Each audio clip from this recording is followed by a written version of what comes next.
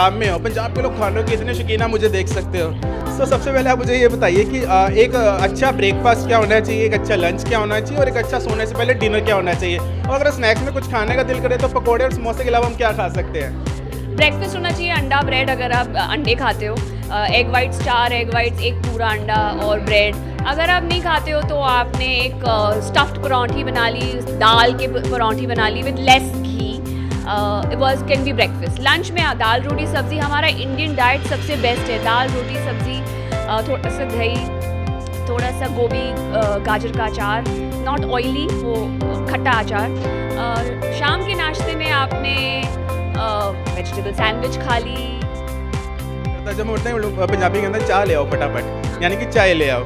तो सुबह की चाय और शाम के सोने से पहले की चाय इन दोनों में क्या कर सकते हैं? खाली पेट चाय कभी नहीं पीनी चाहिए। अगर आपको चाय पीनी है, पहले कुछ खाने से अपना पेट लाइन करें, उसी के बाद चाय लें।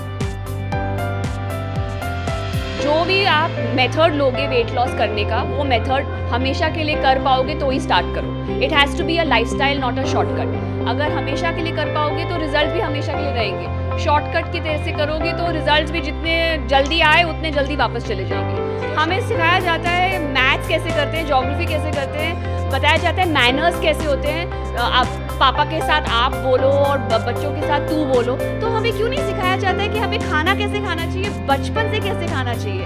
हमारे नट्स एंड स्पाइसेस हमारा हल्दी, हमारा धनिया, हमारा नटमेग पाउडर सौंठ ये सब इतने हेल्दी हैं। लेकिन हम इनसे दूर भाग के वेस्टर्न हर्ब्स और स्पाइसेस को ज़्यादा भाव दे रहे हैं go back to our Indian spices उनमें खजाना है हील करने की शक्ति है और स्वाद देने की शक्ति भी हेलो नमस्ते सत श्रीकाल आप दोस्तों मैं ਤੁਹਾਡਾ ਦੋਸਤ ਹਰਦੀਪ ਦੂਆ ਸੋ ਦੋਸਤੋ ਲੁਧਿਆਣਾ ਲਾਈਵ ਦੇ ਸਾਰੇ ਦਰਸ਼ਕਾਂ ਦਾ ਬਹੁਤ ਬਹੁਤ ਸਵਾਗਤ ਹੈ ਤੁਹਾਨੂੰ ਮਿਲਵਾਉਣ ਲੈ ਕੇ ਜਾ ਰਹੇ ਹਾਂ ਸਾਡੇ ਅੱਜ ਦੇ ਗੈਸਟ ਯਾਨੀ ਕਹਾਣੀ ਜ਼ਿੰਦਗੀ ਦੀ ਗੈਸਟ ਦੇ ਸਾਡੇ ਗੈਸਟ ਹੈਗੇ ਨੇ ਅੱਜ ਦੇ ਪੂਜਾ ਮਖੀਜਾ ਦੀ ਸ਼ਾਇਦ ਹੀ ਕੋਈ ਇਹੋ ਜਿਹੇ ਸੈਲੀਬ੍ਰਿਟੀ ਹੋਣਗੇ ਜਿਨ੍ਹਾਂ ਨੂੰ ਐ ਨਾ ਮਿਲੇ ਹੋਣ ਜਾਂ ਸ਼ਾਇਦ ਹੀ ਕੋਈ ਇਹੋ ਜਿਹਾ ਸੈਲੀਬ੍ਰਿਟੀ ਹੋਏਗਾ ਜਿਨ੍ਹਾਂ ਨੂੰ पूजा जी ना मिले होन सो हेलो मैम कैसे हैं आप बिल्कुल ठीक आप कैसे हैं? बस बहुत बढ़िया welcome to Ludhiana.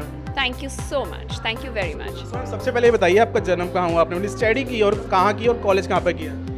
हमारा जन्म कुवैत में हुआ था इट्स अ गल्फ कंट्री हमारी पढ़ाई बॉम्बे बैंगलोर में हुई है और हम प्रैक्टिस बॉम्बे में कर रहे हैं।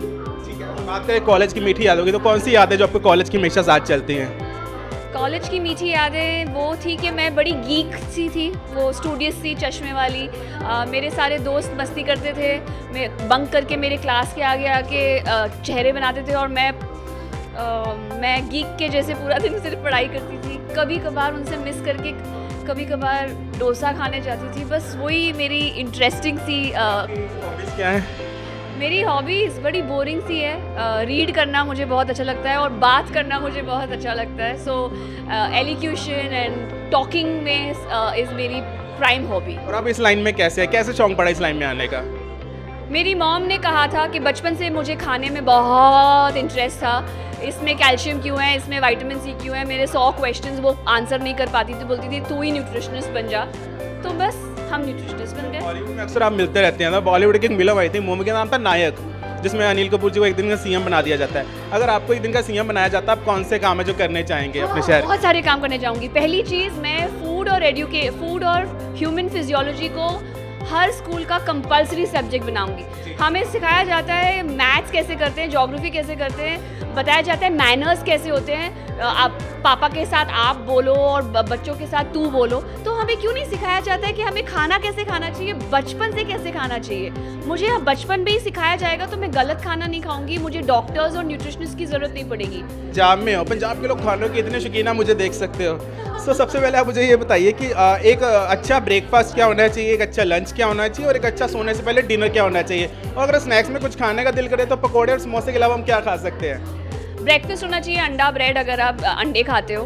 एग वाइट्स चार एग वाइट्स एक पूरा अंडा और ब्रेड अगर आप नहीं खाते हो तो आपने एक स्टफ्ड परौंठी बना ली, दाल के परौंठी बना ली with less ghee. Was can be breakfast lunch में दाल रोटी सब्ज़ी हमारा इंडियन डाइट सबसे बेस्ट है। दाल, रोटी, सब्ज़ी थोड़ा सा दही थोड़ा सा गोभी गाजर का अचार नॉट ऑयली वो खट्टा अचार।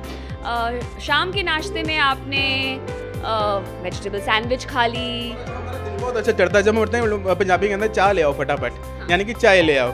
तो सुबह की चाय। और शाम के सोने से पहले की चाय इन दोनों में क्या कर सकते हो? खाली पेट चाय कभी नहीं पीनी चाहिए।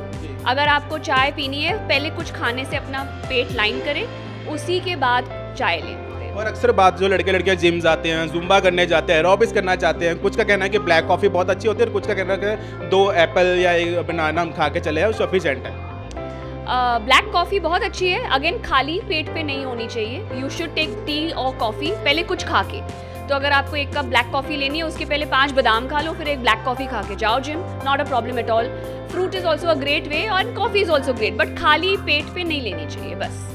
और टीनेज लड़कियाँ अक्सर देखा जाता है कि अपने शादी के पास बहुत तेज़ी से वेट कम रिड्यूस करती हैं। वो कितना, चाहे वो लड़के भी हों, वो बहुत तेज़ी से कम करते हैं। जैसे आपने अंदर ही बताया कुछ भी करिए, लेकिन उसको परमानेंट करिए। यानी कि आप 10 किलो कम किया, उसके बाद रोक दिया। तो बहुत सारी डाइट होती है। कोई विगन डाइट की बात करता है, कोई कीटो डाइट की बात करता है। सो हर एक फॉर्म अलग अलग लगे किसी में कहा जाता है बटर चिकन खाइए, किसी में कहा जाता है, बिल्कुल मत खाइए। तो आप कैसे देखते हैं हर एक चीज़ जो भी आप मेथड लोगे वेट लॉस करने का, वो मेथड हमेशा के लिए कर पाओगे तो ही स्टार्ट करो। It has to be a lifestyle not a shortcut अगर हमेशा के लिए कर पाओगे तो रिज़ल्ट भी हमेशा के लिए रहेंगे। शॉर्टकट की तरह से करोगे तो रिज़ल्ट भी जितने जल्दी आए, उतने जल्दी वापस चले जाएँगे।